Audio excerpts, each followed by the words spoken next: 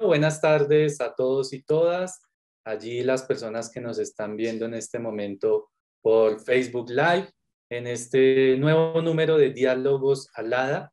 Quiero darle la bienvenida a Lía Rodríguez, presidenta de Alada Internacional. Lía, muy buenas tardes, ¿cómo estás?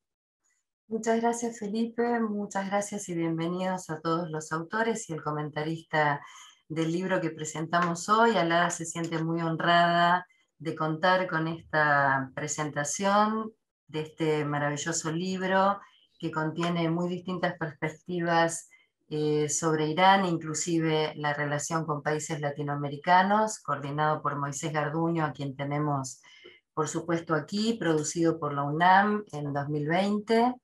Eh, simplemente, más allá de la bienvenida de Alada, quiero destacar esta suerte de genealogía que Moisés establece en la presentación del libro respecto a una suerte de inspirador, como él llama al profesor Hamid Dabashi, que les dedica un libro en algún momento anterior a él y a una colega, y que posteriormente eh, simplemente él entiende que debe contestar la generosidad de esa dedicatoria. Y en ese sentido eh, retoma también señalamientos del profesor Dabashi, eh, esta idea de circular saberes, de circular conocimientos, pasiones y experiencias de distintas generaciones, retomando las dimensiones centrales de todas las relaciones sociales, que son el tiempo y el espacio, y además eh, produciendo de una manera verdaderamente muy relevante material en español sobre estas temáticas sobre las cuales no abunda material. Así que muy orgullosos de compartir escenario con todas estas personas que nos introducen en esta maravillosa producción y por supuesto contando con Felipe Medina, otro colega dedicado al, ámbito, a quien también mucho agradecemos. Eh, en cualquier momento se incorpora también Tatiana Gelbes Rubio, que es la coordinadora de Diálogo Salada. Muchísimas gracias. Muchísimas gracias eh, a ti, Lía. Le recordamos a todos, estamos en el lanzamiento, bueno, uno más, ya ha habido varios, pero en nuestro espacio es la primera vez. El libro se llama Irán a 40 años, Sociedad, Estado y Relaciones Internacionales. Y como bien apuntaba Lía, el coordinador es el profesor Moisés Garduño, el cual nos está acompañando ahora. ¿no? Un poco la dinámica que vamos a hacer para aquellas personas que ya se estén integrando a esta transmisión es que vamos a iniciar eh, con algunas presentaciones de parte de los autores que han colaborado en este libro. Tenemos tres personas en total. Después vamos a hablar con Jaime, quien va a hacer los comentarios. Entonces, quiero comenzar ya mismo para que entremos en materia y podamos generar una bonita discusión. Recuerden los que están en Facebook Live, dejen sus preguntas en el chat y verán que, que las vamos a poder leer al final, ¿no? Entonces, quiero iniciar primero con Mariana de Jesús Escalante. Ella es doctora en Ciencias Políticas y Sociales en la Universidad Nacional Autónoma de México y maestra en Relaciones Internacionales por la Universidad de Pekín, en donde todos los cursos, tesis y defensa fueron en idioma chino. Fue becaria del Consejo Nacional de Ciencia y Tecnología y del Consejo de Becas del Gobierno chino. Trabajó como editora y creadora de contenidos en español, chino e inglés en la oficina regional para América Latina de la agencia de noticias Xinhua. Tú me corregirás si lo pronuncio bien, no soy especialista en China. Ha impartido cursos de mandarín y en temas de Asia en licenciatura y posgrado en el CIDE, TEC de Monterrey, UAM y es actualmente profesora investigadora de la Facultad de Ciencias Políticas y Sociales de la UNAM. Mariana, bienvenida y bueno, te escuchamos. Muchas gracias, Felipe, por la presentación, la introducción y bueno, gracias a Alada por permitirnos este espacio y presentar este, este grandioso libro. Eh, y lo digo por, por notado, mi especialidad es específicamente eh, China. ¿no? Entonces, eh, bueno, yo les comparto el capítulo que yo escribí, fue titulado La relación Irán-China, transgresión al orden internacional, un poco eh, yo diría, disfruté mucho escribir este capítulo porque son ambos estados, aunque muy distintos por supuesto, comparten ese estatus como de estados paria o estados incluso a veces fallidos, dictatoriales, en donde no hay derechos humanos, libertad de prensa o pertenecen a esa lista negra occidental. ¿no? Y creo que eso fue lo que más interesante me pareció porque... Eh, se ofrece un panorama de la relación desde ese punto de partida, de cómo se ve eh, la relación bilateral desde, desde Occidente. Pero bueno, el, el capítulo eh, pues es, es, es, justo una, una crítica ¿no? a, todo, a cómo ha influido eh, Occidente, y perdónenme el término, sé que hay muchas acepciones, pero lo voy a usar así, eh, cómo ha influido tanto en la relación como en el desarrollo de, ambos países de manera nacional, ¿no?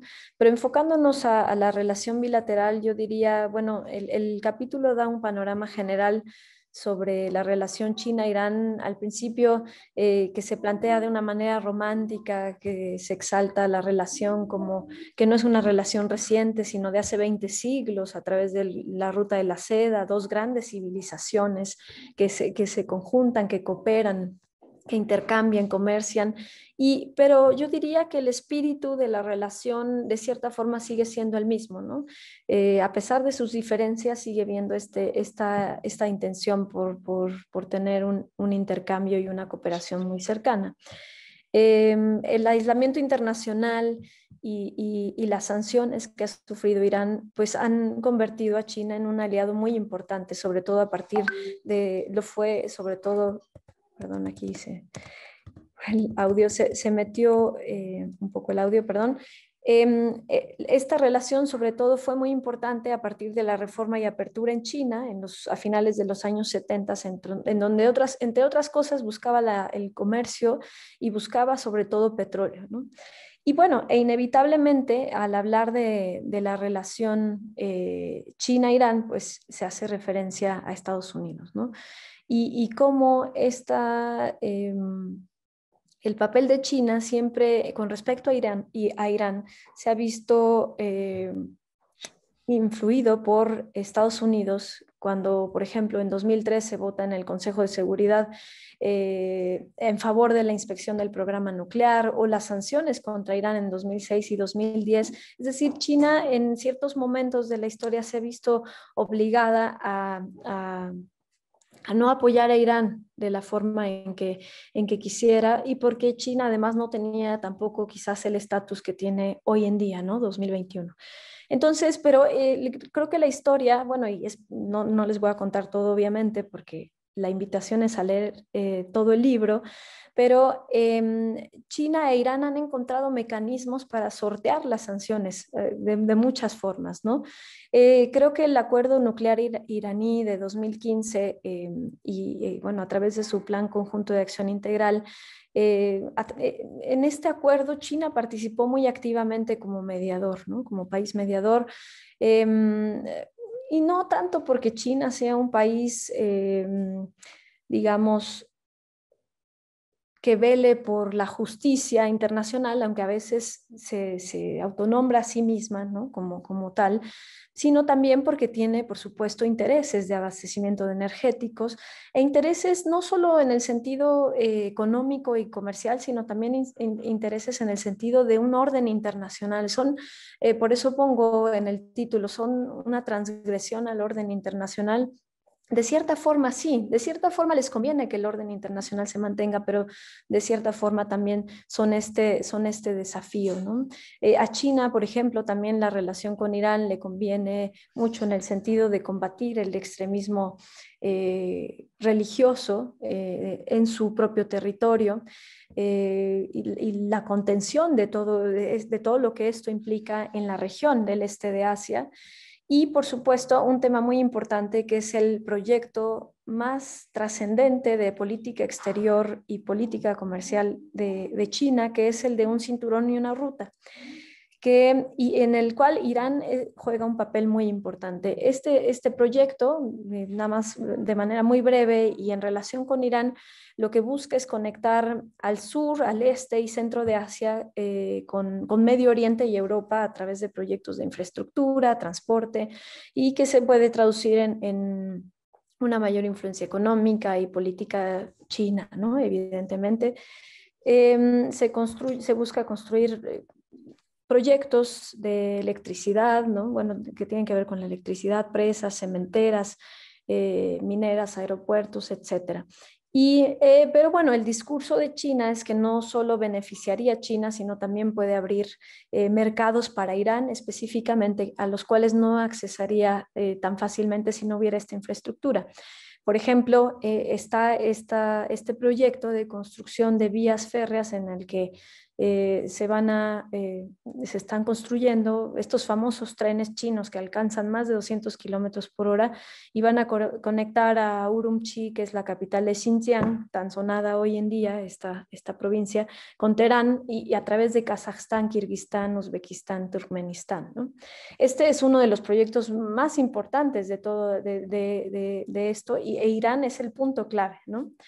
Eh, digo, de ahí la importancia estratégica de, Irán para, China. Y, otro de ellos, pues también es este proyecto de construcción de tuberías para transportar petróleo y gas natural en, esta zona. ¿no? Pero bueno, regresando un poco a la relación, eh, no es cuestión de solo aliarse. ¿no? China tampoco quiere la confrontación con Estados Unidos con respecto a Irán. Lo vimos muy claramente cuando Trump decidió salirse del acuerdo nuclear. Eh, del pacto nuclear, perdón, con, de, Irán. Y, bueno, entonces eh, la relación China-Irán siempre ha ido un poco hasta donde los demás les permitan eh, establecer la relación. ¿no? Entonces yo diría em, que el reto para la relación sino-iraní, y creo que es un poco lo que se discute en este, en este capítulo es precisamente el de continuar con, una activa relación comercial y política sin que se vea afectada por, lo externo. Es un poco, eh, para China, pues es un tema estratégico que no representa, que no represente un obstáculo para, sus intereses de abastecimiento principalmente y también como mercado, porque ha inundado también el, mercado iraní con muchos productos chinos, los cuales, por cierto, pues tampoco son tan bien vistos como en todo el mundo. Pero para Irán sí, sí se vuelve una cuestión más de supervivencia. Para Irán la, la, relación con China es muy, muy importante en ese sentido, ¿no? Entonces, eh, digamos, ya eh, con respecto a, a, qué va a ocurrir eh, en Irán, podemos decir que Irán tiene mucho escepticismo sobre Estados Unidos. luego, con la retirada de Trump del acuerdo en 2018, eh, creó, por supuesto, desmoronó todo lo que se había logrado después de tanto tiempo. Para China también fue una especie de fracaso porque no le permite eh, realizar sus intereses de manera en Irán de manera tan adecuada. Y al mismo tiempo, bueno, la postura de Biden que, ha sido de que, bueno, se intentará salvar el acuerdo nuclear, pero tampoco es tan fácil, ¿no? Ya no es, no es como decidir eh, regresar y ya. Entonces, eh, y al mismo tiempo, pues el papel de China en, Irán y en la región molesta mucho. Digo, vemos actualmente con, con lo que está ocurriendo ¿no? entre Israel y Palestina. Igualmente, tomar una postura es eh, eh, para, para, específicamente para China, se vuelve difícil, aunque bueno, la ha manifestado. Pero yo solo terminaría diciendo haciéndome la pregunta que intento comentar en el capítulo, ¿no? ¿Son transgresores o no China e Irán? Eh, pues yo diría que son estos baluartes del desafío del status quo. Eh, y, sí confrontan de cierta forma el orden internacional a su manera, cada uno, ¿no? Sin embargo, también les conviene mantener el sistema como está. Eh, y por otro lado, lo hacen, eh, sortean estas sanciones, reducen el uso de dólares en sus intercambios comerciales, es decir, sí están retando la, hegemonía estadounidense de cierta forma, lo cual a mí me parece muy interesante. Es una relación bilateral en la cual desde América Latina quizás no ponemos mucha atención, pero, pero creo que debemos de poner mucho más porque sí tiene muchas implicaciones simbólicas y, económicas y de estabilidad internacional.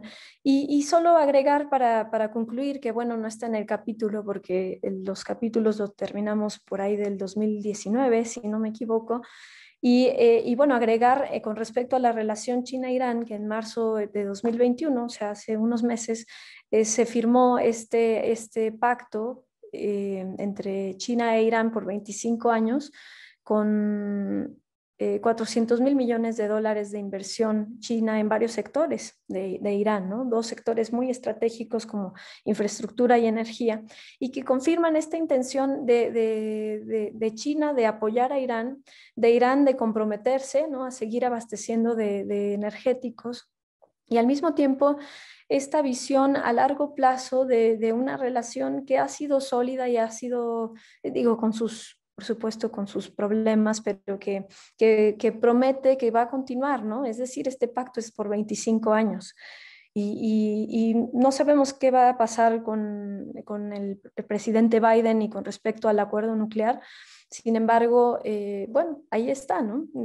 China confía en que, que se va a continuar respetando eh, el, pacto nuclear y así, bueno, también así va a firmar eh, este abasto constante eh, y, con descuento de, parte de Irán de petróleo y, pues seguirán resistiendo ¿no? a las tendencias y a las presiones internacionales.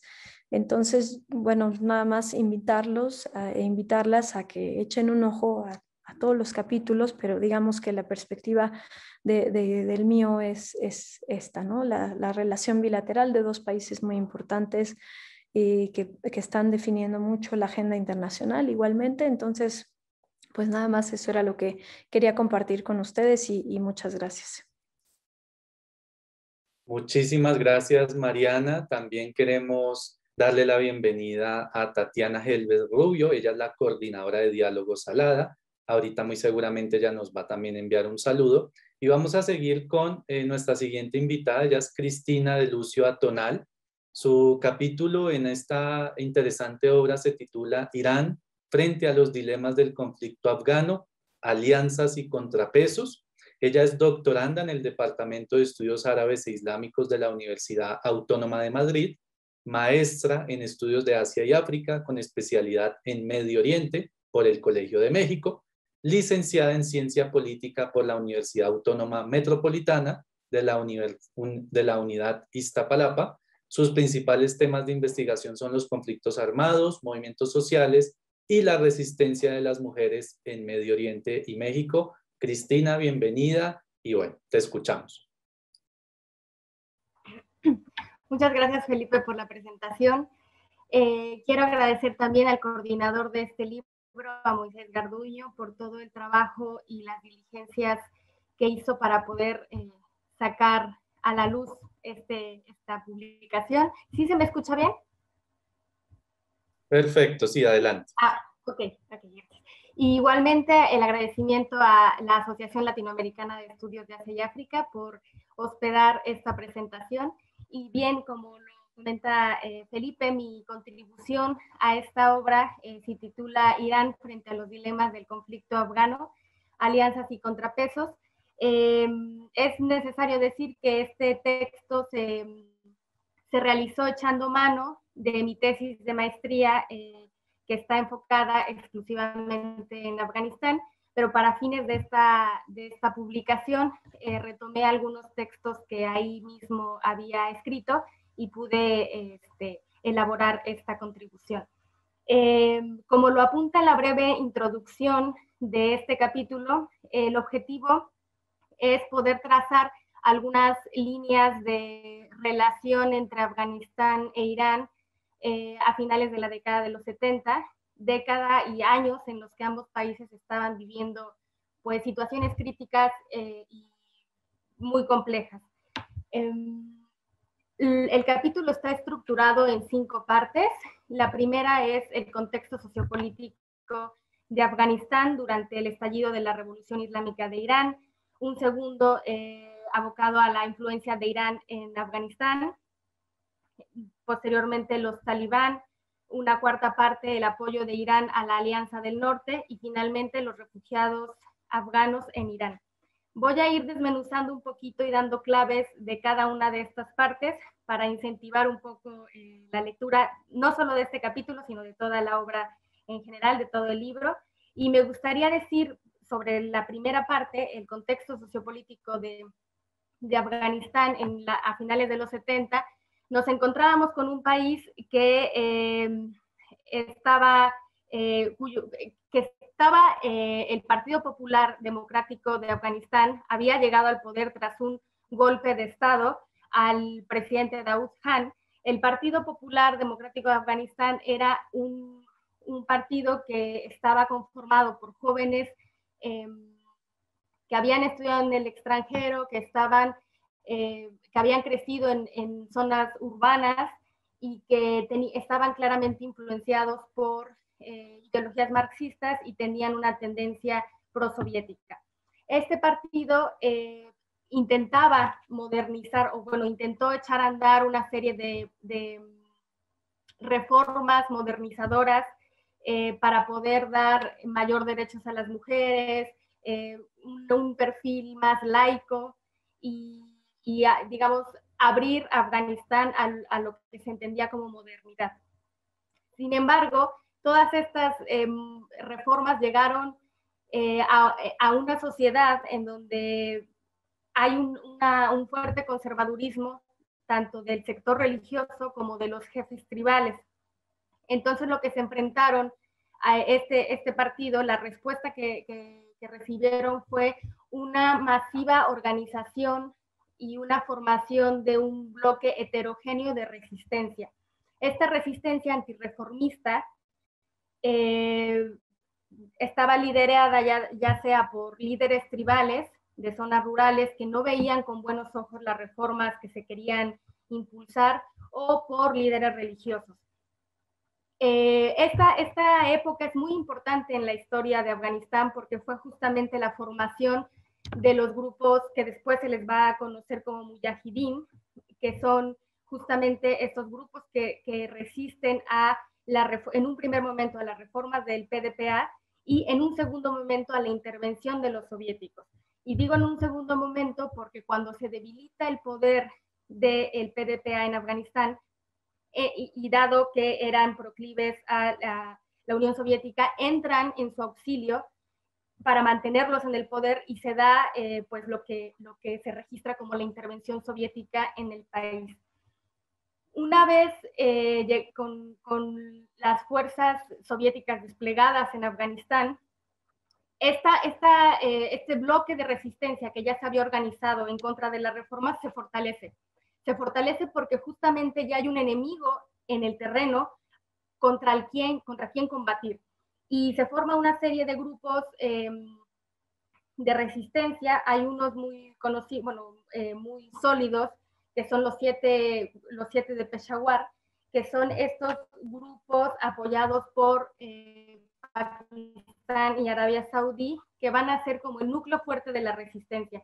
Algo importante dentro de este, dentro de este surgimiento de, de resistencia antisoviética es que va a ser también la oportunidad para que países extranjeros intervengan mediante eh, financiamiento o mediante apoyo logístico o armas. Y es aquí en donde se empieza a trazar un poco la relación entre Irán y Afganistán, porque si bien el apoyo que recibían los grupos mayoritarios, que en este caso eran los Pashtun, que estaban aglutinados en los siete de Peshawar, y siete de Peshawar porque justamente son los grupos más radicales y más em, conservadores que estaban exiliados en Pakistán y que justamente desde Pakistán, con el financiamiento saudí, con el financiamiento pakistaní, querían pues eh, incentivar la lucha, ¿no?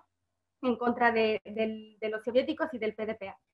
Entonces aquí es donde inicia la primera señal de, relación, digamos, con Irán, que es mediante el financiamiento, bueno, el apoyo, financiamiento eh, de los grupos minoritarios en dos sentidos minoritarios étnicamente, que van a ser Hazara, Farsiwan, Kisilbash, Bayat, no Pastún, porque el grupo pastún es el más eh, hegemónico, el mayoritario en Afganistán, y eh, a nivel religioso porque son chií, eh, practicantes del Islam chií, entonces hay cierta afinidad hacia Irán.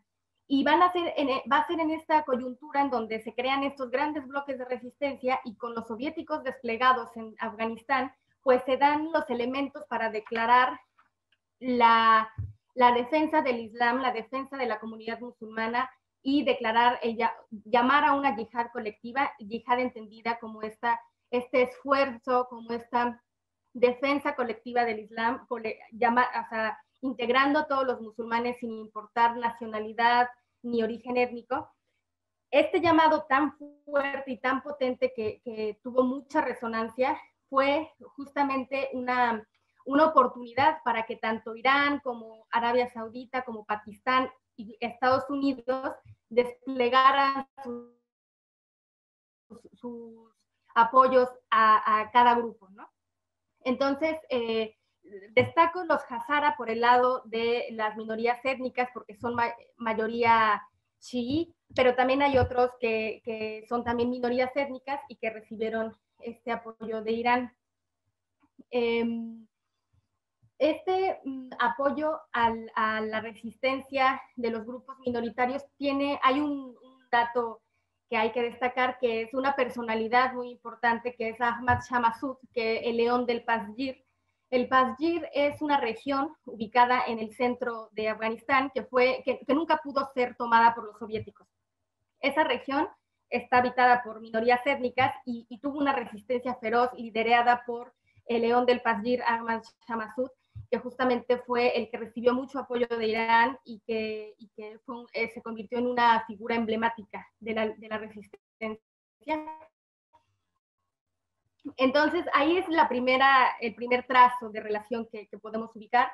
Em, este, la segunda parte, la influencia de Irán en Afganistán, em, como bien lo mencioné, estaba enfocada a brindar apoyo militar, logístico, pero también a intentar difundir las ideas políticas que se estaban pues, eh, manteniendo o, las ideas políticas de Khomeini durante la Revolución Islámica para una especie de exportar, si es que se puede llamar así, pues el ideario, ¿no? Em, para, para un poco ir avanzando y no porque hay muchos detalles en los que podría detenerme, pero bueno, tras la salida de los soviéticos en, 1988, pero que se concretó al año siguiente, pues se quedó eh, el país sin el enemigo común, pero los grupos eh, que resistían, los mujahidín, los mujahidín viene de el que hace la yihad, el, que el combatiente, el que lucha. Entonces, estos grupos de mujahidín o señores de la guerra, de ahí viene ese término que de repente lo vemos en todos lados, señor de la guerra porque es aquel que combatió contra los soviéticos, se, se perdieron el enemigo común y se regresaron a sus provincias y se convirtieron en un eh, jefe eh, de, su, de su tribu y de su provincia sin ninguna... Eh, sin ningún impedimento en su ejercicio del poder, es decir, fueron la autoridad afianzaron su poder y esto hizo que eh, todos disputaran el poder de la capital, de Kabul, y se convirtiera en una situación eh, muy complicada para la población porque todos los mujahideen también perdieron el, el, el, centro y empezaron a cometer abusos en contra de la población, este, robos, violaciones, pillajes, saqueos, y la, la situación se volvió prácticamente insostenible.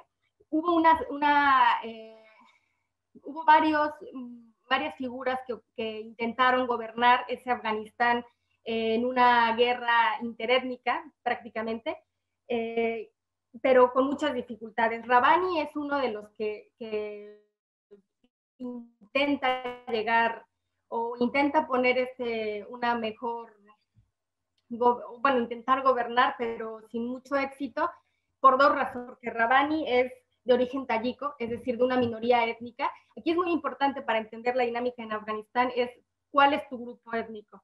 Los Pashtun han sido un grupo hegemónico, tanto política como étnicamente en el país y continúa. No, no fue bien vista y fue eh, prácticamente algo, algo que ni se esperaba y ni se aceptaba. Todo este ambiente de hostilidad, em, obviamente que Irán, Irán apoyaba a Rabani porque justamente era la, la cara más con quien se podía hablar, ¿no? con quien podía dialogarse y aparte al ser de una minoría étnica, pues, pues se podría tener algún acuerdo, ¿no? Pero sin embargo, pues no había, un respeto a esa autoridad central, a ese intento de autoridad central. Así que todo esto abonó para la llegada de los talibán, para que su llegada, eh, que como movimiento purificador y pacificador, como se planteó en un inicio, pues fuera, pues al menos se, le viera como una opción de, de controlar toda esa eh, ese desorden, ese caos en el que estaba eh, pues Afganistán. Sin embargo, pues como, como la historia nos lo demuestra, pues este movimiento que inició entre jóvenes estudiantes de las escuelas coránicas, liderado por el Mullah Omar, por Muhammad Omar, originario de Kandahar, del sur de Afganistán. Toda la base dura del talibán está en, en, el sur, porque es ahí en donde surge el movimiento y es ahí en donde se impulsa.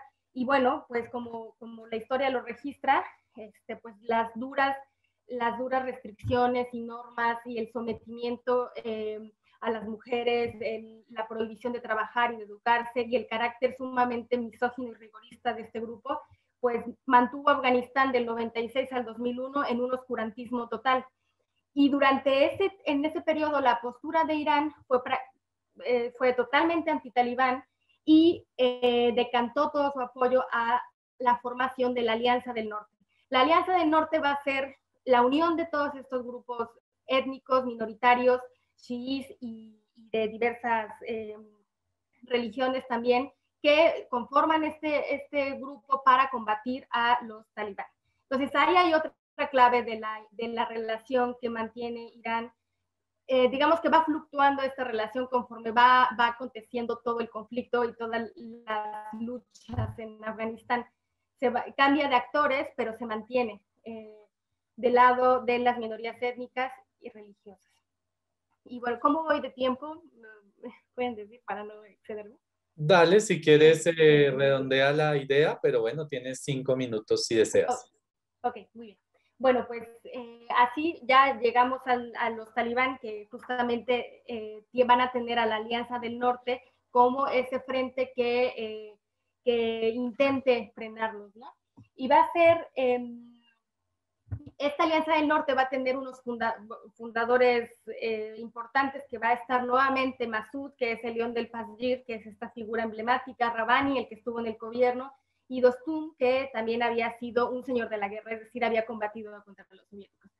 Eh, y esta alianza del norte también tuvo una función muy importante tras eh, el ataque a las Torres Gemelas y la declaración de la guerra contra el terrorismo y la consecuente llegada de la intervención estadounidense a Afganistán, porque fueron un, instrumento de eh, comunicación. Le enseñaron a los estadounidenses dónde están los puntos claves de ataque, dónde están los eh, talibán, dónde son sus lugares de posible refugio. ¿Por qué? Porque hay algo que hay que recordar siempre que no hay quien conozca mejor el terreno que, la persona que vive ahí. Y Afganistán es un país sumamente montañoso, con una geografía muy accidentada, que no, va, no lo van a conocer ningún ejército por, por más de que esté instruido o formado, si no es de ahí. Lo conocen los nativos, lo conocen quienes están ahí. Entonces fueron muy útiles la Alianza del Norte para justamente ser la guía y combatir pues a los talibán que lograron, bueno, que fueron derrocados en noviembre del 2001.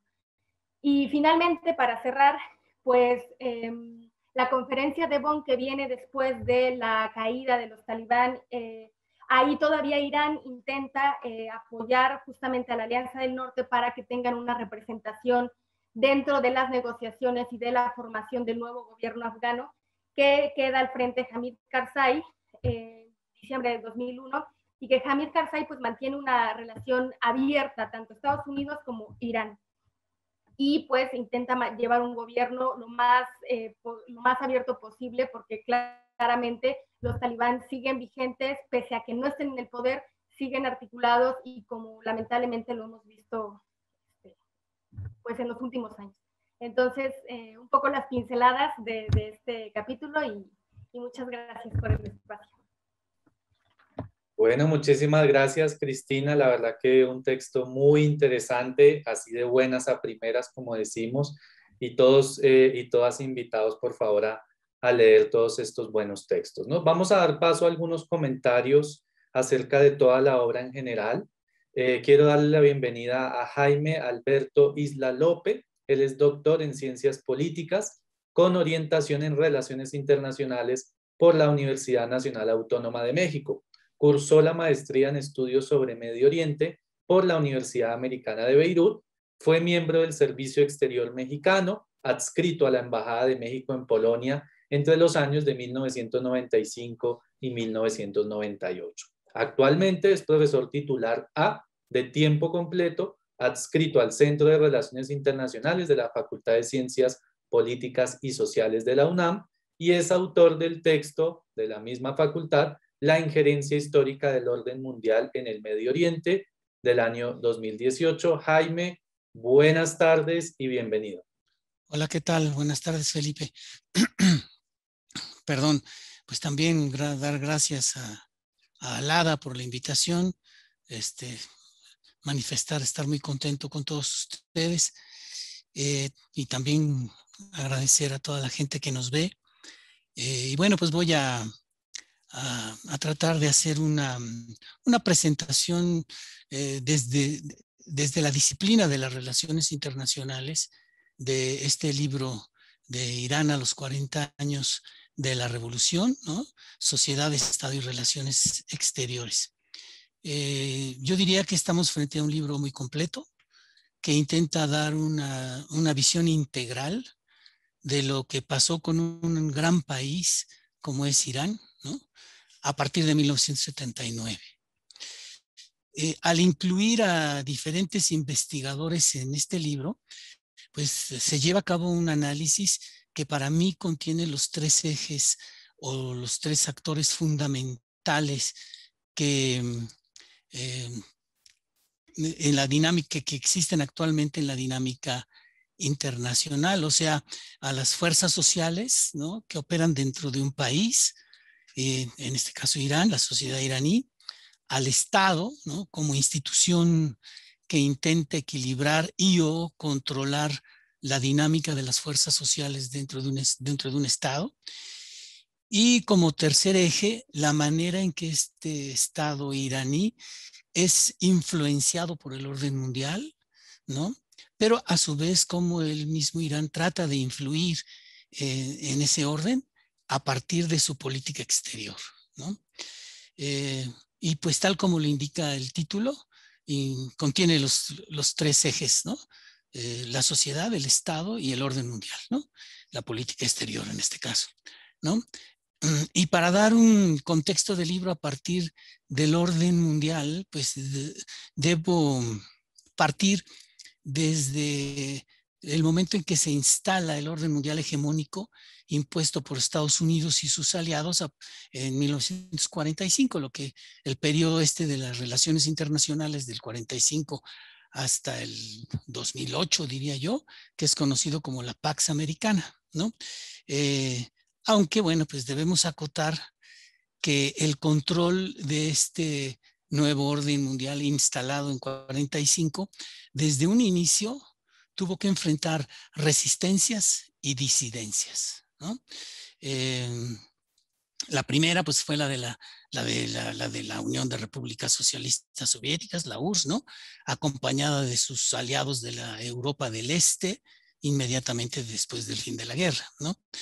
Otra potencia, como ha dicho Mariana, este, pues es que transgredió este orden mundial, pues fue la China de, 1949, ¿no? La República Popular China, eh, y pues este, ah, ambos países em, en la actualidad, siendo grandes potencias, pues como lo vemos, siguen pagando las consecuencias de esas disidencias hasta el día de hoy, ¿no?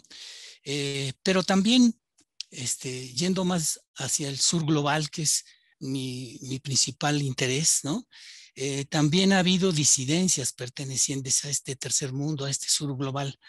Eh, solo para mencionar algunos casos importantes, pues está el, de, el caso de Cuba, ¿no? el caso de Vietnam, el caso de Venezuela más recientemente con Hugo Chávez y por supuesto yo incluiría aquí al Irán de la revolución de 1979 hasta la fecha, ¿no? Pues en síntesis lo que nos presenta este libro pues es la historia de esos 40 años de, de, disidencia, ¿no? De esa disidencia o de esa resistencia al orden mundial que emprendió Irán a partir de la, de la revolución islámica. Y pues este modelo de disidencia eh, se ha generado en, la, en, en, los diferentes países históricamente bajo un liderazgo que siempre ha sido radical, que trata de llevar a cabo una revolución desde arriba, ¿no? También el caso de la China, de la Unión Soviética, de Cuba, de, la misma Irán, ¿no? que intentan llevar a cabo cambios estructurales de gran calado, ¿no? Y es este liderazgo radical el que eh, en un momento dado moviliza a las masas para tratar de lograr sus objetivos, ¿no? Y cabe destacar que los países en los que se ha dado este modelo enfrentan a un orden mundial muy hostil que de inmediato intenta aislarlos eh, mediante bloqueos económicos, sanciones, embargos y por supuesto mediante medidas militares desestabilizadoras, ¿no? Si no, pregúntenle a Rusia, pregúntenle a China, pregúntenle a Cuba, pregúntenle a Vietnam, pregúntenle a Corea del Norte y por supuesto pregúntenle a Irán, ¿no? Eh, y específicamente en el sur global, durante las primeras décadas de la Guerra Fría, hubo un tipo de Estado que ahora no voy a explicarlo, nada más lo voy a mencionar, que se llamaron estados neomercantilistas desarrollistas, ¿no? Que consiguieron algunos éxitos económicos notables, ¿no? Sobre todo pues, mediante el endeudamiento externo. Este fue el caso, los mejores ejemplos serían el mismo México, Brasil, Corea del Sur y también el Irán de la dinastía Pahlavi, ¿no? Pero pues todo esto se vino abajo con la crisis de la deuda externa de los años 70 y 80, ¿no? Desde ese momento pues surgieron mm, fundamentalmente tres posibilidades de orientación política para los países del tercer mundo, ¿no? Para el sur, para el sur global. La primera fueron pues, gobiernos militares, ¿no? Con proyectos desarrollistas dependientes, ¿no? Y apoyados con ayuda militar uh, proveniente de la potencia hegemónica. Eh, tenemos muchos casos en ese sentido. Egipto es uno de ellos. Eh, en América Latina tenemos también varios ejemplos, ¿no? El segundo modelo fueron los estados eh, bajo un gobierno civil neoliberal, con su desarrollismo dependentista, ¿no? Como México es uno de ellos, muchos, todos los que tienen este gobierno civil y que han sido, Colombia es otro, bueno, hay muchos, ¿no? Y el tercero, no voy a, a, a, meter más en esto, porque el que me interesa es el tercero, ¿no? El, ter, el, tercero, que es el que a mí más me llama la atención en este caso, es, y sobre todo para entender el caso de Irán, son estos países que escogieron escogieron o fueron orillados, ¿no? También ahí había que hacer matices, ¿no? Hacia un cambio radical diferente de confrontación con los poderes hegemónicos, ¿no? El gran problema que veo yo y que es lo que se refleja mucho en el libro, el gran problema que conlleva el mantener una larga y permanente disidencia frente al orden mundial es que, por un lado, estos estados tienen que utilizar gran parte de sus recursos para defenderse precisamente de las amenazas provenientes del exterior, ¿no?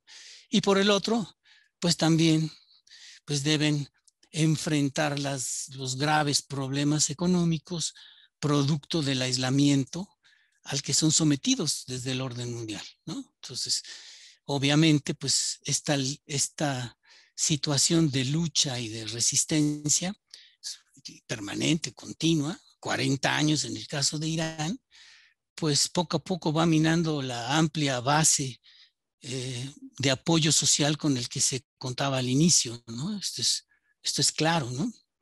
Eh, so, al principio de estos procesos, pues el, la base de apoyo era muy amplia, poco a poco todo esto empieza a generar desilusión. Eh, algunos países, pues como sabemos, son sometidos y son reincorporados al control hegemónico. Eh, ahorita me viene a la mente pues, el caso de los países de Europa del Este, ¿no? Que fueron reincorporados al orden mundial, ¿no? Y otros pues continúan en la disidencia, pero con grandes limitaciones, como se ve también en el trabajo, ¿no? Y con un gran desgaste, sobre todo un gran desgaste social. Ahora, si a esta situación le sumamos algunas características históricas, estructurales de las sociedades del Medio Oriente, eh, que fueron, estas características fueron perpetuadas eh, tanto por el colonialismo y posteriormente por los gobiernos independientes hasta la actualidad, pues entonces este, la situación se, se, complica aún más, ¿no? Que es, el, que es la parte en donde vemos la primera parte del libro referente a la, a la sociedad iraní, ¿no? Esto sí complica aún más, ¿no? Me refiero concretamente pues a estos estados autocráticos y autoritarios, ¿no? Que siguen funcionando a partir de vínculos tribales, ¿no? Vínculos tribales, vínculos sectarios, em, como mencionaba Cristina, eh, vínculos de diferentes eh, eh, procesos étnicos, ¿no? Diferentes etnias que no se ponen de acuerdo dentro de un mismo estado, ¿no? Procesos tribales, sectarios, étnicos, y que desembocan o han desembocado desde hace varias décadas en lo que llamamos los que nos dedicamos al Medio Oriente, los estados patrimonialistas, ¿no? En donde se ejerce casi, casi un absolutismo por parte de los líderes, ¿no? De los gobernantes. Y bueno, pues en el caso específico de Irán, eh, eh, si ya lo ponemos en este, dentro de esta tipología, pues lo consideraríamos una variante neopatrimonialista, ¿no? Eh, en, en, la que todos estos elementos arcaicos, autocráticos, autoritarios, se presentan de lo que podemos llamar una, una escenografía estatal moderna, ¿no? Eh, una escenografía, estatal moderna en donde, pues sí, ¿no? Hay una república, ¿no? Islámica, pero una república, ¿no? Este, hay un parlamento, ¿no? El Mahdi, ¿no? Este, hay partidos políticos, ¿no? Eh, y hay una aparente división de poderes, ¿no? Pero que en esencia siguen funcionando, siguen funcionando como una estructura sectaria arcaica, como es el caso, pues en este caso específico de Irán, de el, del chiismo en su versión principalista, ¿no? Que se sigue basando en el mahdismo, ¿no? por ejemplo, ¿no? y que es el caso no solamente del chiismo, es el caso de, las diferentes ramas del Islam político, como, como puede ser la hermandad musulmana en Egipto y en otros países, o como puede ser el wahabismo en Arabia Saudí, ¿no? o como puede ser los talibanes en, este, en Afganistán. ¿no? Y pues en este sentido, pues em, yo sí considero, no te voy a, no, este, no, no, no vas a contar con la crítica que, supuestamente habías previsto. sí, yo sí considero que todos los trabajos, que los trabajos que se presentan en este libro, pues sí cumplen ampliamente con el propósito de profundizar y de comprender ¿no? la alternativa revolucionaria que fue adoptada por Irán en 1979 y toda su secuela ¿no? hasta, hasta nuestros días. ¿No? Eh, y todo esto, pues, incluyendo el hartazgo y el desencanto de la sociedad durante todos estos años de represión, ¿no? Y de falta de democracia y de todo lo demás, ¿no? Eh, incluyendo también la urgente búsqueda de un posislamismo, que es, una parte del libro que me gustó mucho, ¿no? La parte del post-islamismo y sobre todo también de la promesa perdida de esta justicia social que se planteó eh, en aquella época, ¿no? Pues todo esto, obviamente, que es hacia el interior, todo esto, sin olvidar la importancia de Irán en las relaciones internacionales, ¿no? Y los retos y, oportunidades que se, que la actual transición hegemónica del orden mundial podría otorgarle, ¿no? Entre ellas, pues lo que mencionó Mariana sobre la alianza con China, ¿no? Este nuevo tratado que se firmó hace unos meses, ¿no? Em, la, posición dura que puede, que puede plantear ahora eh, la delegación iraní en las pláticas para reanudar el pacto nuclear y en donde parece como que ahora ya le hablan de tú a tú, ¿no? A, a la potencia hegemónica, ¿no? Lo, lo mismo que sucedió en Alaska, ¿no? Eh, y en, la plática con los chinos y con los rusos también, ¿no? En donde ya, pues ya las cosas no son como antes, ¿no? Entonces sí estamos viendo esta transición hegemónica del orden mundial que puede presentar, eh, puede presentar graves crisis, pero creo que también grandes oportunidades para, para llevar nuevamente hacia un escenario mejor, ¿no? Más progresista. Eh, y bueno, pues realmente creo que sí es un libro imperdible, ¿no? para los que están interesados en conocer un caso de disidencia y de resistencia hacia el orden mundial, pero es un caso con características eh, locales y regionales muy sui generis y realmente extraordinarias, ¿no? Porque ahí es donde vemos como si hay como si hay eh, categorías que podemos aplicar a todos los estados disidentes o a, todas categorías más generales para entender las relaciones internacionales a nivel mundial, pero también en donde reconocemos estas características locales eh, que se dan y regionales, ¿no? Que se dan en cada caso y que mm, mientras comparten muchas cosas también eso las hace diferentes, ¿no? Y este, y pues no me queda más que felicitar a todos los autores que participaron en esta, en esta gran obra. Y, este, y espero que eh, comentes algo, Moisés, de, lo, de la forma en que enmarqué el, el, libro dentro de las relaciones internacionales. Gracias, para mí es suficiente esto.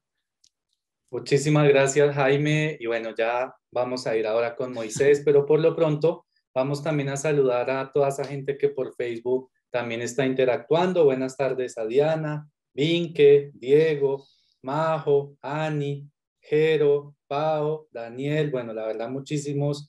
Salamu alaikum, alaikum salam. Janet, buenas tardes. Fernanda, Jimena, Arturo. Bueno, miren, hasta de La Plata, Irene, Cintia, Jen. Bueno, mucha gente les envía saludos a ustedes. Y bueno, vamos a, a presentar ahora a Moisés.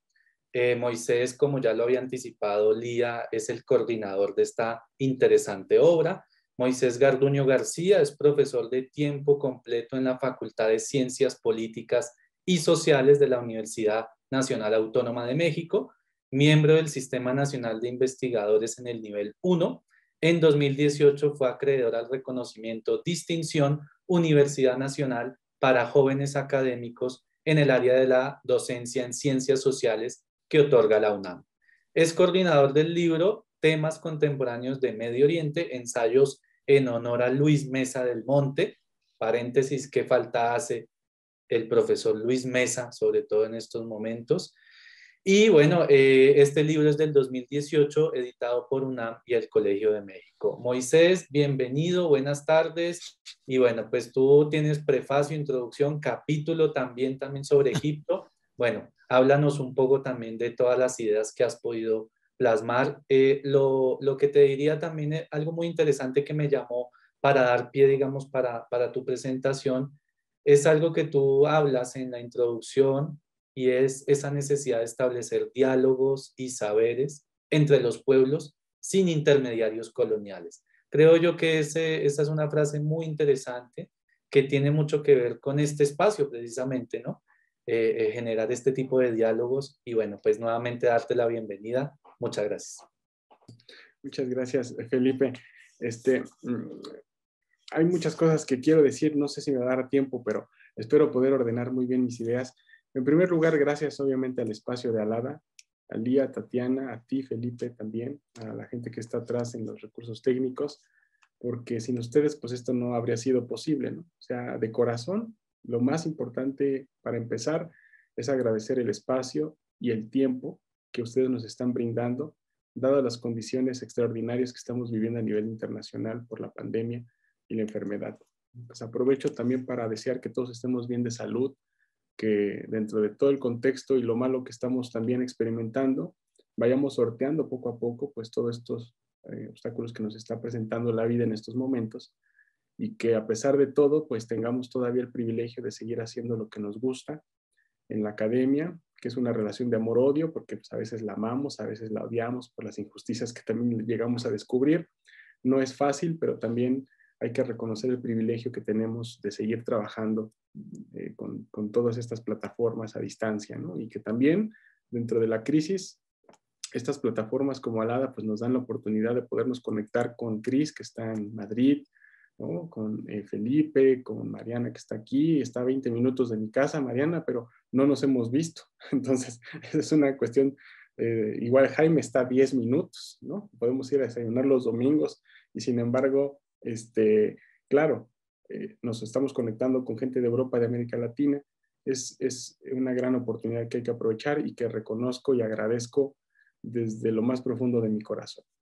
Y Felipe me ganó la, la, el punto de partida porque pues fue en la segunda ocasión que vino el profesor Dabashi, cuando como lo que comentó Lía nos, dedicó su libro de eh, Iranian, Iran Without Borders, que es como se llama el libro que nos dedicó a mí Alejandra Gómez.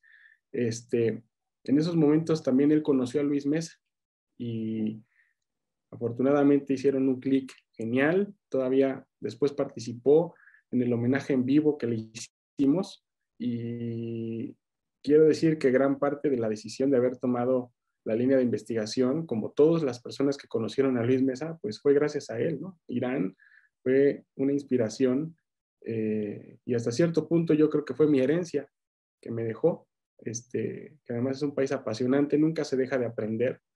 Y una de las principales enseñanzas de Luis fue justamente irlo haciendo sin intermediarios, como decía Felipe, que ya intenta eh, superar una narrativa que ah, muchas veces creíamos insuperable, sobre todo hablando de Washington y Londres como principales centros productores de conocimiento, pero también de perspectivas y de formas de abordar el conocimiento, pues muy relacionadas con sus necesidades particulares y la mayoría de ellas de corte colonial y de influencia económica. En el caso de, Reino Unido y Estados Unidos respectivamente. Entonces, un intento de ir produciendo algo sobre Irán. Luego en lengua española. Y luego desde México y América Latina, pues eh, fue un intento que ahora sí que pues tratamos de plasmar aquí en esta obra y con todos, todas las carencias que pueda tener, porque a pesar de que está el importantísimo capítulo de de Cristina que nos permitió acercarnos a esa otra frontera, ¿no? Con Asia Central, pues todavía hay carencias que el libro este, tiene y que al mismo tiempo es una oportunidad para seguir haciendo cosas, ¿no? Por ejemplo, la relación con el Cáucaso, la relación con otros países de Asia Central, este, la importantísima relación que tiene también Irán con, con India y con el sureste asiático como principal puente de la relación que hay geográficamente hablando con China, también hay muchos intereses que se interponen en esa ruta. Em, y por supuesto, pues también con algunos otros países de América Latina, como eh, la propia Cuba, ¿no? Por ejemplo, que podría haber sido también interesante, de acuerdo con lo que decía Jaime, haber podido plantear un capítulo de las relaciones de estas dos sociedades revolucionarias que tienen mucho en común, no solo política, ideológicamente, sino también epistemológicamente frente al orden internacional. Aún así, eh, hemos tratado como equipo eh, de colaboradores, eh, sí yo como coordinador, pero sobre todo como colaboradores que me hicieron el enorme favor de gastar tiempo y esfuerzo en contribuir con cada uno de sus capítulos, pues en seguir estas enseñanzas de nuestro querido amigo, colega y profesor, el doctor Luis Mesa del Monte, a quien pues obviamente le mandamos un abrazo donde quiera que él esté, y eh, recordar que así como está plasmado en el libro, pues la bibliografía de él perdura y va a perdurar eh, con el paso del tiempo. Cada vez que se habla de Irán, es un homenaje a las enseñanzas de Liz, pero también al reto que nos dejó eh, por delante. Como decía nuestra querida amiga Erika Aguilar y Marcela Álvarez, que también participa aquí en el libro, nos dejó la vara muy alta. Entonces, eh, estos son solo intentos de ir eh, siguiendo esos pasos. Y, para eso es, para que lo leamos, lo critiquemos, eh, siempre con la mayor rigurosidad posible cuando se trata de un trabajo académico. Entonces, en segundo lugar, después de haber dicho esto, pues yo quiero agradecer a todos los autores que han ayudado a hacer posible este libro.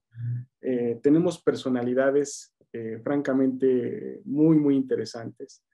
Eh, que también es un poco también hasta cierto punto el consejo de Luis que decía, pues, ¿para qué quieres a los gringos? No porque sean buenos o malos, sino porque también hay que entablar el, diálogo directamente con, con, colegas iraníes, ¿no?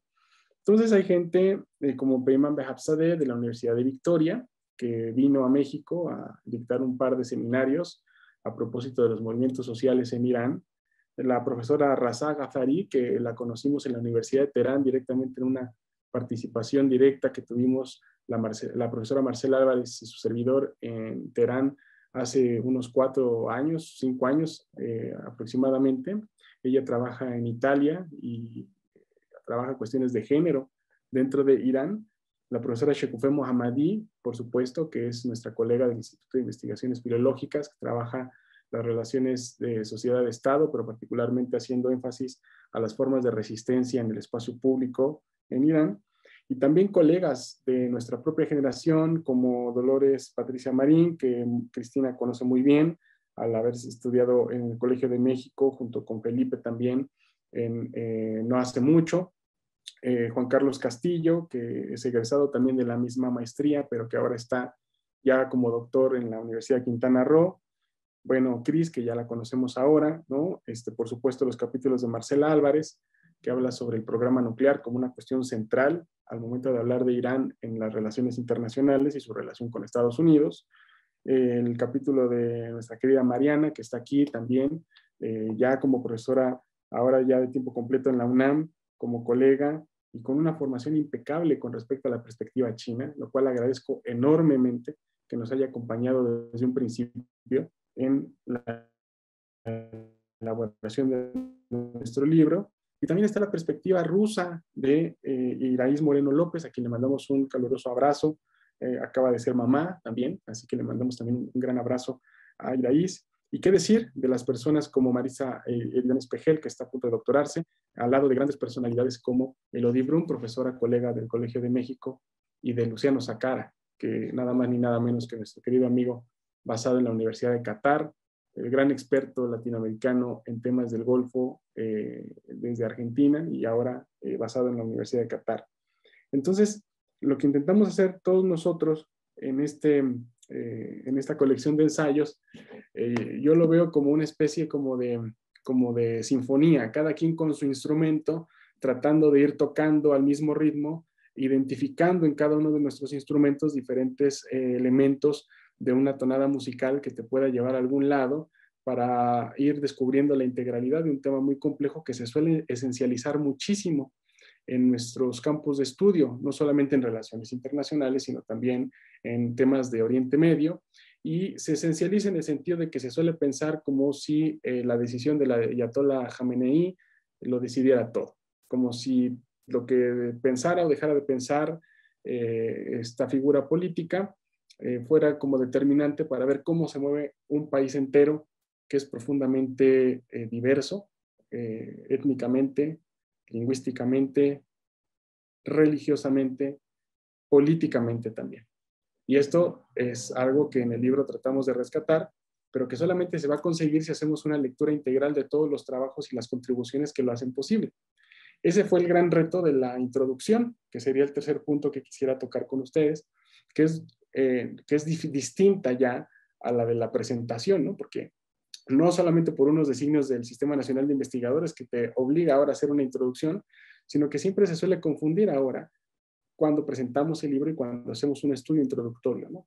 Entonces, además de la presentación, que es un poco lo que acabamos de hacer ahora, la introducción es un poco ir haciendo esta labor, ¿no? Del director de orquesta, que es más o menos ir colocando aunque todo el trabajo lo hace la orquesta, ¿verdad? La orquesta que forman los trabajos, el director de orquesta es el que va tratando más o menos de ir colocando en el estudio introductorio la entonación y la eh, armonía que, hace un poco alusión al texto en, en un sentido de completud. Y en ese sentido fue lo que tratamos de hacer ahí, echando mano desde una crítica a la posición de Michel Foucault, desde que vio la revolución, pasando al ámbito regional, tocando el ámbito interno, por supuesto, de la República Islámica de Irán, los múltiples problemas en términos sociales, la desolución ante la justicia social, y de ahí conectarlo directamente con lo que el doctor Isla decía, que es eh, la relación con el sistema internacional y particularmente con tres grandes estados, que es Rusia, China y Estados Unidos. ¿no?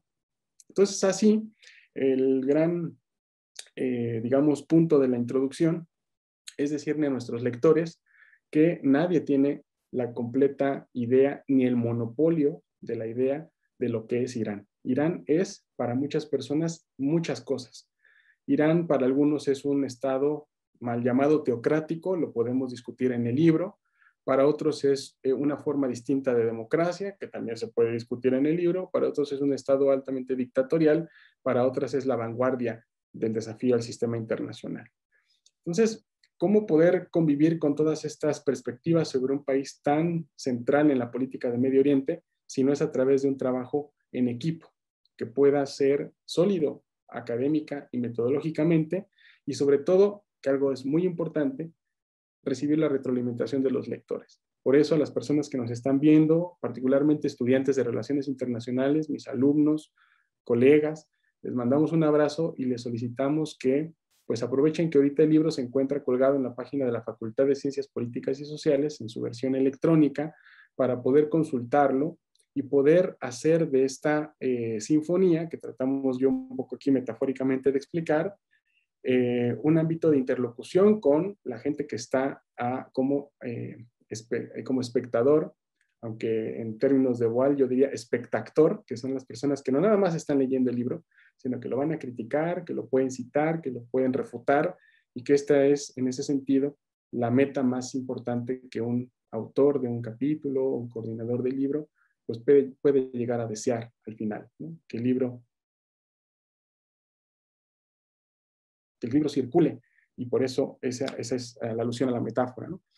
Y luego también, retomando lo que dice Felipe, el libro también tiene una, eh, a lo mejor pequé aquí de ñoño y ustedes me dirán, pero tiene un epílogo.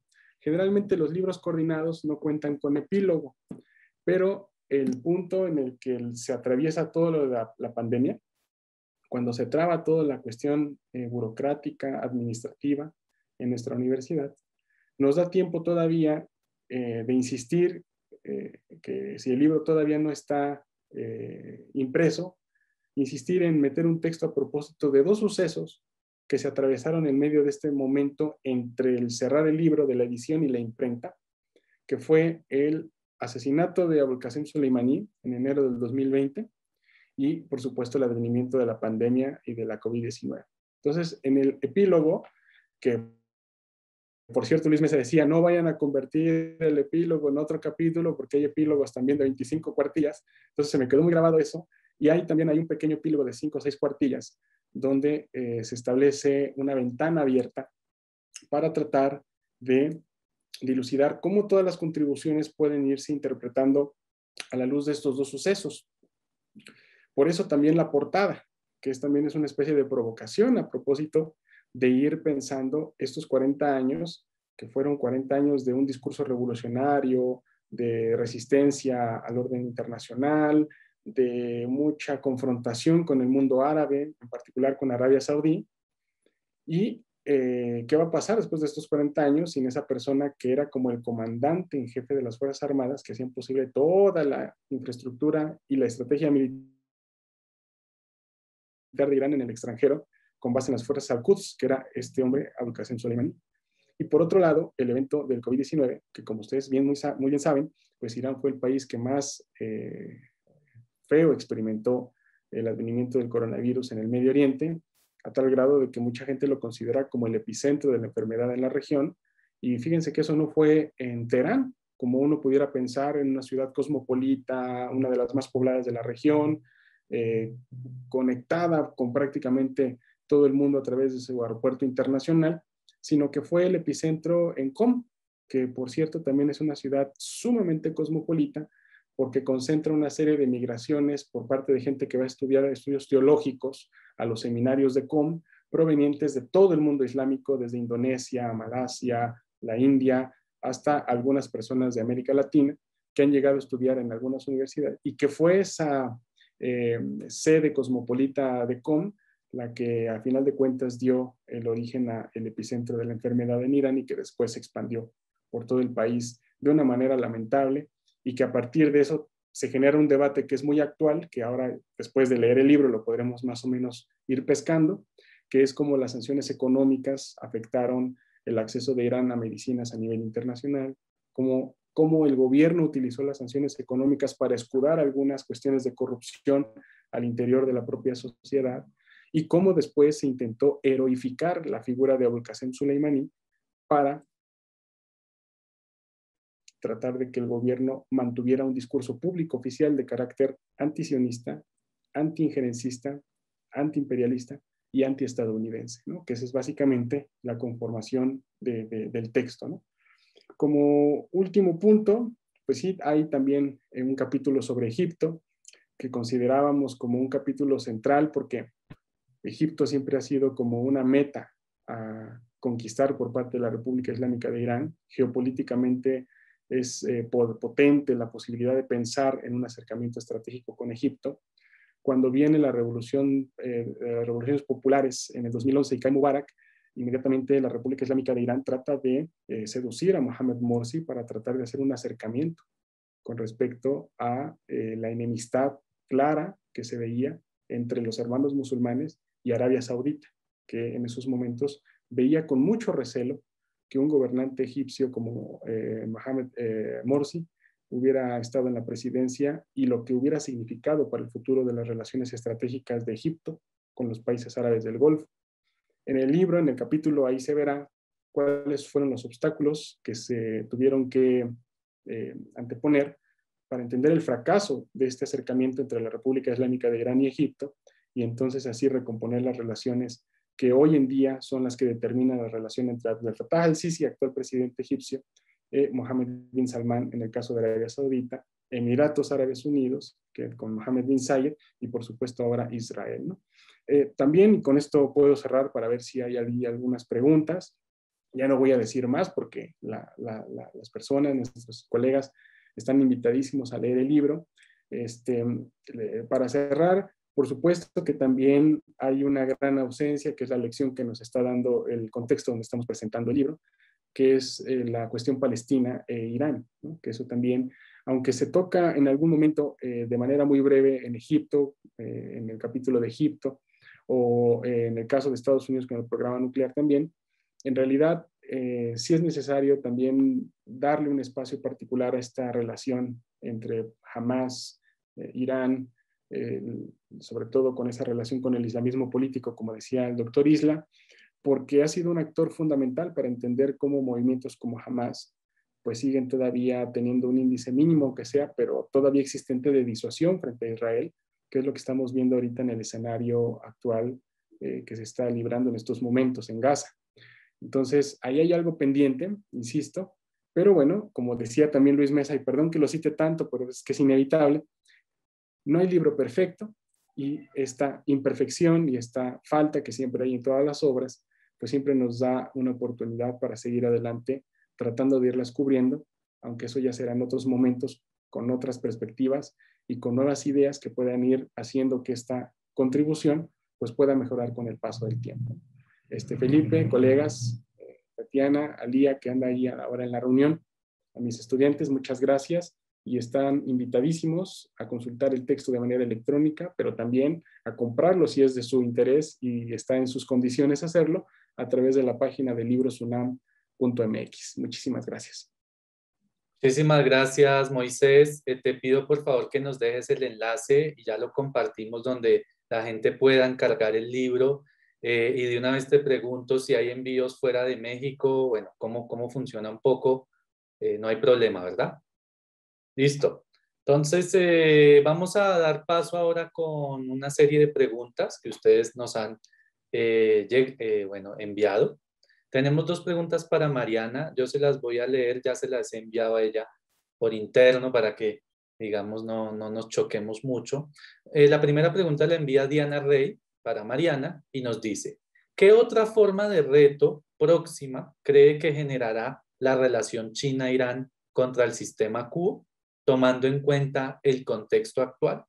Te leeré la siguiente y, digamos que tú me respondes, eh, bueno, con el tiempo que, tú necesites, ¿no? La segunda pregunta para Mariana la envía a Vip Pérez. Nos dice, en el marco de las negociaciones del Plan Conjunto de Acción Integral, ¿qué papel o intereses tendría China para asumir un rol de mediador y tratar de salvar el acuerdo? Mariana, tienes tu tiempo. Muy bien, pues muchas gracias por las preguntas. Creo que bueno, la primera sobre mm, el reto eh, de la relación China-Irán y, esta transgresión al status quo, yo diría que es, pues sería la gran pregunta, ¿no? Eh, me sería muy difícil responder. Creo que, creo que en parte, y a mí me gustó mucho lo que comentó Jaime al respecto de, del papel de estos estados que, que, que, de cierta forma se han visto relegados por circunstancias diversas y por eso han sido estos eh, resistentes al, status quo. Bueno, yo diría que, justo la gran pregunta sería esa, pero tratando de, aterrizar un poco, yo diría que depende mucho eh, de qué suceda con el acuerdo nuclear iraní, de qué manera lamentablemente de qué manera lo aborde Biden. Sabemos que es muy complicado porque aunque quiera entrarle al acuerdo, eh, no, va a ser, no va a ser fácil, hay mucho, eh, digamos, mucho en juego. Y sobre todo, eh, con respecto al papel de, China específicamente, yo diría que China va a hacer lo posible y ha hecho lo posible, bueno, además de los países europeos que están en el acuerdo, para, para, que el, para que el pacto siga. Em, eh, bueno, el acuerdo, el acuerdo nuclear y, este, y lo, y lo, vinculo un poco con la siguiente pregunta, ¿no? Sobre el, el, el, plan conjunto de acción integral. Yo creo que China tiene justamente ese interés de que el plan conjunto continúe. ¿Por qué? Porque de esa forma va a poder eh, seguir con sus... Em, con sus intereses, con sus proyectos, sobre todo, eh, como mencioné en, en, en, la presentación, sobre todo este eh, proyecto, un cinturón, una ruta, que es el proyecto de política exterior más importante para China. Irán es una pieza central de este proyecto. Y, y de no continuar... Eh, de no ser exitoso este, el, plan conjunto de acción integral, es, va a ser muy difícil. China, China ha vivido ya muchos efectos, Irán los ha vivido de manera obviamente peor. Eh, los efectos de este no eh, acercamiento, no involucramiento de Estados Unidos al acuerdo nuclear iraní. Entonces yo creo que China e Irán van a hacer todo lo posible. ¿no? Irán ha demostrado mucho esta, este, esta desconfianza hacia Estados Unidos eh, eh, que no cumple lo que, lo que lo, que se acordó, ¿no? Y que en cualquier momento un cambio de presidencia o un cambio de política pueda afectar su propio futuro. Creo que eso es también parte de, las injusticias del propio sistema internacional del cual se queja Irán y del cual se queja China. ¿Por qué tenemos que depender de, eh, de, otros países, ¿no? Y de Estados Unidos específicamente. Creo que, creo que hay mucha molestia por parte de la comunidad internacional en general, bueno, de de nosotros que estudiamos estos temas y de los iraníes, de los, de los chinos al respecto. Entonces, porque este continúe con el apoyo de, los países europeos que lo han eh, apoyado, ¿no? Y, eh, y, sería difícil, sería difícil, pero yo sí diría, ni China ni Irán se van, se van a dejar, se han visto las consecuencias eh, tan terribles eh, que, ha tenido, eh, que han tenido las sanciones. Entonces, bueno, más bien sería muy interesante ver qué es lo que ocurre en los próximos meses y años, pero por lo pronto yo les diría, bueno, China y, e Irán firmaron este, este acuerdo por 25 años, ¿no? Eso habla, es un mensaje muy, muy fuerte que, para la comunidad internacional, para Estados Unidos en particular, de decir, nosotros aquí vamos a continuar con nuestra relación en la, en la medida en que nos beneficie, sin importar qué orden internacional quiera dictarnos Estados Unidos, ¿no? O quien sea. Entonces, bueno, creo que es un mensaje interesante. Espero haber contestado eh, su pregunta, sus preguntas y muchas gracias igual por el interés. Muy bien, Mariana, muchísimas gracias a ti. Te aprovecho porque eh, también hay otra pregunta y ya para darle paso a Cristina, que también tiene una pregunta. Nat, desde Facebook, nos dice también para Mariana, tomando en cuenta que recientemente la sociedad civil en la región se ha organizado contra sus respectivos gobiernos, ¿será que el acuerdo entre China e Irán un aliciente que refuerce el descontento de los iraníes, ya que en este acuerdo China saldrá beneficiado del petróleo de Irán. Eh, ¿Qué opinas? Muy bien, bueno, yo creo que, que este acuerdo, este acercamiento de China e Irán siempre ha generado descontento tanto en la región como a nivel interno, ¿no? En Irán. Eh, lo mencionaba un poco en la presentación, por ejemplo, hay, hay, muchos, eh, hay mucho también preocupación de que se inunden los mercados de, de, productos chinos y que eh, desplacen a productos locales, por un lado. Por otro lado, está esta crítica, y espero haber entendido bien la pregunta, pero está esta crítica sobre Em, sobre que China tiene proyectos nada más para sus propios intereses, ¿no? Y que no deja una derrama necesariamente significativa a los países de origen o que, en fin, solo está buscando el petróleo de Irán y ya, ¿no? Yo creo que la, la, relación no es solo por petróleo, digo, yo, yo lo mencioné mucho porque claro que es parte del interés de, de China, ¿no? El energético, como digo, es, es evidente y, lo, y lo, lo, mencionan mucho, pero, eh, pero también es este, este estar presentes en la región, tanto, tanto Irán diciendo tenemos, tenemos un apoyo importante, como para China diciendo pues estamos apoyando a Irán en este sentido, pero al mismo tiempo recordemos que China igual tiene buena relación de pronto con Israel y con Arabia Saudita, ¿no?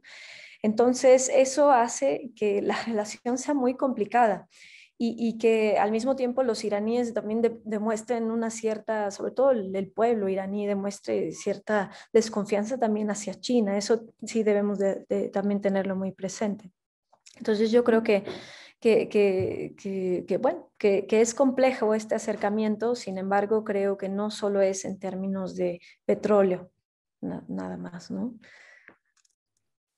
Muy bien, vamos ahora con una pregunta para Cristina, la fórmula Paufer desde Facebook. Con la salida de Estados Unidos de Afganistán, ¿es posible que Irán tenga una influencia más grande en el país a favor de un grupo específico para las negociaciones internas de paz, tomando en cuenta que Irán actualmente tiene un diálogo con el grupo talibán? ¿Aún ve Irán en el talibán una amenaza para su seguridad? Sí, gracias, gracias Felipe y gracias a la persona que hizo la pregunta también. Eh, pues me parece que los talibán siempre van a ser una amenaza para la seguridad, ya sea interna del propio Afganistán como de sus vecinos, por la naturaleza del grupo, que ya hemos visto que pues es una, un grupo muy conservador, rigorista y que usa la violencia sin, sin medida y que incluso ha atacado a población civil, a niños, a mujeres.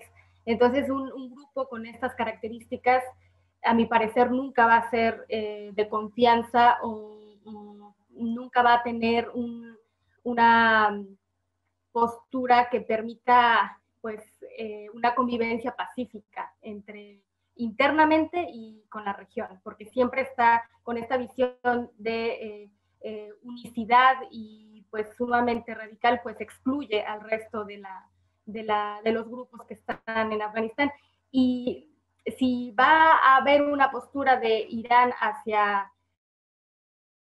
hacia Afganistán diferente, pues si, si, vemos, como lo mencioné en la presentación, eh, pues la, el, el, apoyo de Irán había sido justamente a las minorías étnicas y a los grupos que habían resistido a, los talibán desde, desde años, lo vemos en la Alianza del Norte, eh, habría que ver qué intereses están de por medio, qué, intereses van a pesar más que eh, pues el mantenerse alejados de un grupo que pues ha dejado muy claro eh, su naturaleza sumamente violenta, misógina y, y que no, no, está abierto al diálogo, ¿no?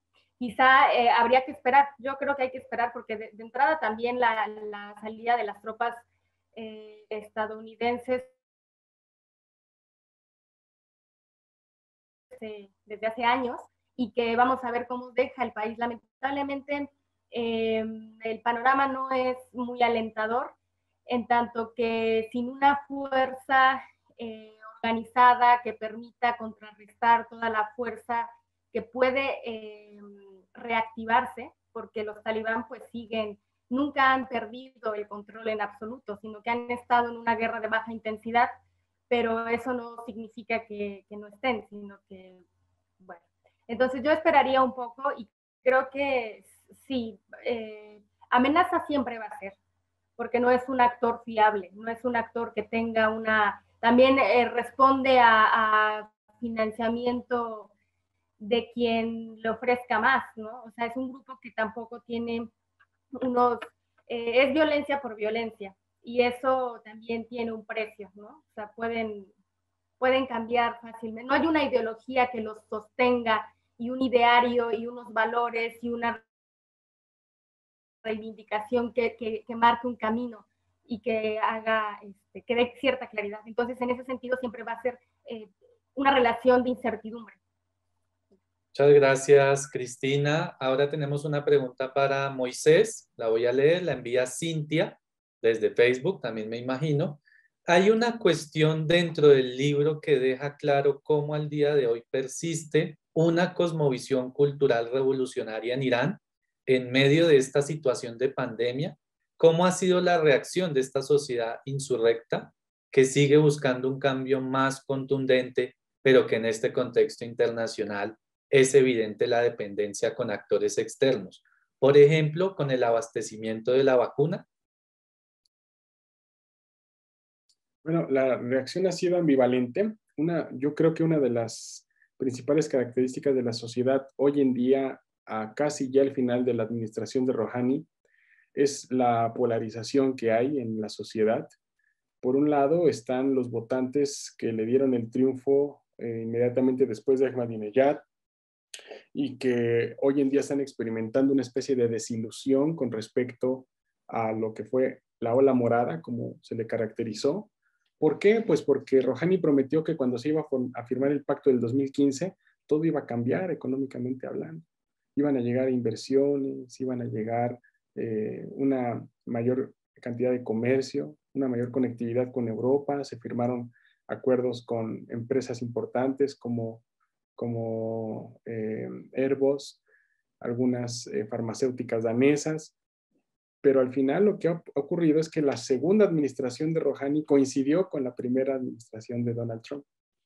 Y esta salida unilateral que hace Donald Trump, que implicó la imposición nuevamente de sanciones económicas, hizo que todas esas promesas que Rouhani había dado a la población simplemente no llegaran. De hecho, se dice Kalam de la Universidad de Teherán dice que Trump lanzó a Irán a los brazos de China, porque ya habían eh, hecho un compromiso multilateral en el marco del eh, acuerdo nuclear y ahora el advenimiento de Trump, la reimposición de sanciones, el asesinato a Soleimán, la retórica a favor de Israel, el reconocimiento tácito de la soberanía de los Altos del Golán, entre otras cosas, pues fue lo que al final de cuentas lastimó en gran parte la economía iraní. La otra parte fue la corrupción también, ¿no? Tampoco hay que perderlo de vista. Entonces, esta desilusión del, gobierno de Rouhani causó no solamente una insurrección popular dentro de su propia base social, sino la remontada de la base social de la oposición, de gente cercana al jefe del Poder Judicial, eh, Ebrahim Raisi, que es uno de los principales punteros ahora en las encuestas para ir por las elecciones presidenciales y si no se inscribe, es probable que sea uno de los candidatos para ocupar el puesto de líder supremo en años eh, provenientes. Y todo esto ha causado que la base social del actual gobierno de Rouhani pues esté prácticamente dividida. A esa división se le achaca también eh, la falta de liderazgo y la falta de fuerza para poder renegociar eh, la entrada de Estados Unidos nuevamente al pacto nuclear, al hecho de que hoy en día parece ser que Biden, como bien comentaban eh, Mariana y Jaime, está esperando a ver quién va a ganar las elecciones presidenciales en Irán para ver con quién va a negociar finalmente. Entonces, esta es, yo creo, una de las crisis políticas más fuertes que tiene la administración de Rouhani. Y claro, para él poner a Biden nuevamente en el pacto nuclear significaría algo muy importante para su base social interna. Significaría recuperar gran parte del poder político que tiene y las negociaciones como que van lento, como que a veces avanzan, a veces retroceden. Eh, Irán está ahora enriqueciendo uranio al 60%, con lo cual el margen de maniobra de la negociación como que eh, se queda en los niveles más bajos. O sea, es un eh, interregnum que por lo menos no veremos claridad hasta junio, pero la calle está agitada, la calle está enojada. Cuando se asesinó, se asesinó a Soleimani por parte de la administración Trump, Irán derribó un avión ucraniano con más de 176 pasajeros, la mayoría de ellos iraníes y canadienses, y esto causó nuevas protestas. Y más para darles un ejemplo claro, Irán gasta muchísimo dinero, no está claro porque la transparencia tampoco es muy clara, pero gasta muchísimo dinero en uno de los programas de misiles más importantes de todo el Medio Oriente. Son los misiles, cohetería y demás eh, artefactos que exporta a Hezbollah particularmente, algunos otros en menor medida a Hamas, eh, a, los Houthis, que Felipe sabe muy bien, pero eh, cuando tuvo que hacer uso de ese programa de misiles para defender a la nación, con la mayor precisión necesaria para lograr una defensa de la nación, falla la República Islámica de Irán y derriba un avión civil y mata 176. Entonces la gente dice, pues, tú estás gastando tanto dinero en el programa de misiles para que cuando lo usas tú lo que haces es derribar aviones civiles. Entonces dice, ¿por qué? Porque el gobierno dice que está gastando esos, esos dólares en el programa de misiles, el programa nuclear, y que por eso no hay justicia social, por eso no hay inversión en el empleo, por eso no hay gasto público. Y esto hace que la gente también se eh, moleste mucho y haya manifestaciones populares desde el año 2017 hasta el día de hoy.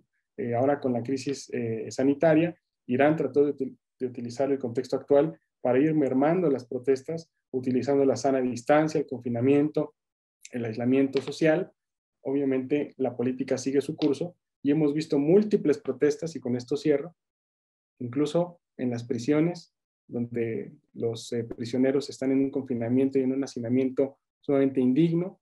Hay también protestas por parte de enfermeros, médicos que se quejan de la falta de insumos, eh, como en buenas otras partes del mundo también.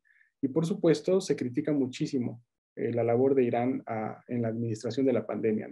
son, son solo pincelazos como para poder entender un poco lo de la pregunta, por qué el malestar y cómo podemos ir midiendo básicamente este malestar eh, insurrecto, como lo mencionaban en la pregunta.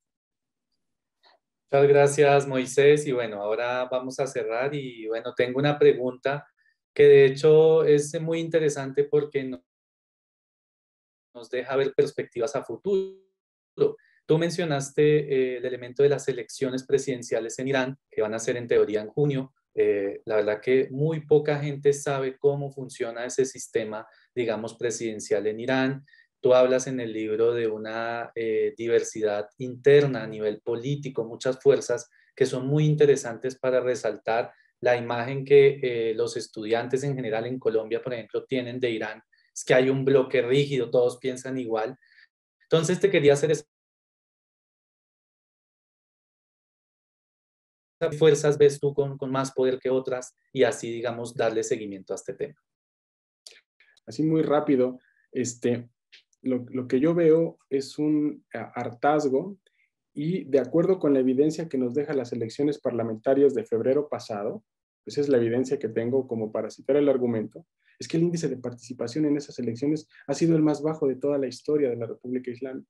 De estos 40 años, estas elecciones de febrero del 2021 fueron el índice más bajo de participación, que creo que no alcanzó ni siquiera el 40% del padrón. Con lo cual, la base social no voy a decir conservadora, principalista, porque esto ya sabemos que es como muy ambiguo, pero sí cercanos a una política anti-Rohani, lo que puedo decir, es que ha aprovechado la falta de voluntad de la gente para salir a votar para echar a andar toda esa maquinaria electoral hasta cierto punto populista, por decirlo de alguna forma, que engalana a la oposición de Rouhani, particularmente liderada por el eh, principal del Poder Judicial, Ebrahim Raisi, que si se anota en las elecciones puede ser el, el que pueda alcanzar el mayor número de votos, pero gracias a este descontento y esa falta, ese, ese desentendimiento y esa desilusión por parte del gobierno de Rouhani. Así que gran parte, si los resultados no son favorables para la ola morada y los candidatos de Rouhani, que mucho se ha hablado de que Mohamed Javad Zarif pueda ser uno de los candidatos de la ola morada, por ejemplo, todavía no se anota, él dijo que no, pero todo es teoría hasta el momento. Si no se hace algo a propósito para que esa gente salga a votar, es muy probable que estas personas cercanas a la línea del imam, anti-Rohani, anti-ola morada, críticos del programa nuclear, por cierto, ellos están más a favor de una política ríspida, de fricción, de contención, cercanos a la Guardia Revolucionaria, puedan ganar las elecciones eh, aprovechando este descontento y esta desilusión. Entonces, la falta de participación electoral eh, en Irán siempre beneficia a la gente cercana a la línea del imam. Muchísimas gracias, Moisés. Y bueno, ahora le doy paso a Tatiana y a Lía. Y bueno, agradecerles también a todos su participación. Vamos a entrar entonces en la etapa de cierre y conclusiones. Tatiana, por favor. Bueno, buenas tardes para todos y todas. Eh, Moisés, un gusto tenerte en el espacio como, como líder de esta iniciativa y pues escuchándolos eh, celebro estas iniciativas tan ricas y tan variadas y, quiero destacar solamente algo y es eh, pues el liderazgo femenino dentro de las escritoras. Ya lo mencionabas tú cuando hablabas eh, yo creo que lo celebro porque en la academia en general de nuestros estudios de Asia y África a veces eh, tenemos un desbalance en términos de, del género y pues ver en esta obra eh, autoras tan extremadamente brillantes con un manejo de los temas tan con esa experticia tan específica, pues felicitarlos y, y pues ojalá sigamos cultivando eso en todas las otras áreas geográficas en las que nos especializamos en estos estudios de Asia y África. Eh, decirles que pues bueno, estamos pasando a esta modalidad Facebook Live y que esperamos seguir teniendo en este espacio a todos y todas las que siempre nos acompañan en Diálogos Salada y, y agradecerles por su tiempo, por su espacio, por su generosidad en compartir todos estos eh, diferentes temas tan interdisciplinares con nosotros en este espacio. Muchas gracias. Bueno, finalmente, eh, nuevamente agradecer a los autores, al coordinador, al comentarista, a todo el equipo, al esfuerzo de Tatiana, por supuesto de Felipe, también a Facundo, nuestro ayudante técnico. Esperamos verlos pronto en otra iniciativa similar y esperamos que además sigan produciendo bibliografía en español tan valiosa como en este caso. Muchísimas gracias a todos. Nos estamos viendo en la próxima sesión. Gracias.